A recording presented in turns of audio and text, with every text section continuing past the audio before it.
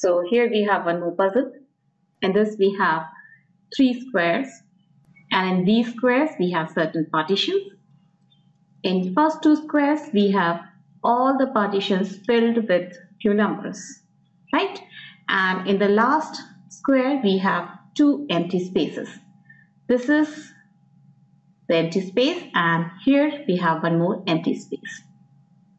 So we have to find the logical relation between the numbers written in these first two squares and applying the same logic we have to fill the empty spaces of the third square right? So now let's start from this number. The logic behind starting from this number is in the third square we are provided with only this number top left number right so now let's find the difference between this number and this number. So bigger number is 18 minus 15 is 3.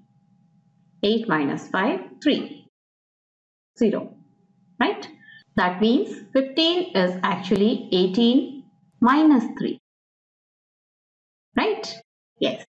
And now let's see if we get this 11 by subtracting 3 from 14. So let's do 14 minus 3, 4 minus 3, 1 and 1. Yes, we are getting this 11 by subtracting 3 from 14. Right? So what will be this number? This number will be 17 minus 3. 7 minus 3 is 4 and we have to write 1 as it is. So the number here should be 14. Right? Yes. And now let's check relation between 18 and 23. This relation. So what will we do? Again we will find the difference. So let's do 23 minus 18.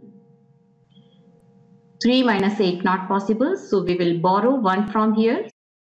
This will become 1 and this will become 13. 13 minus 8 is 5 and this will be 0. Right? That means if we add 5 to 18, we are going to get 23. Right?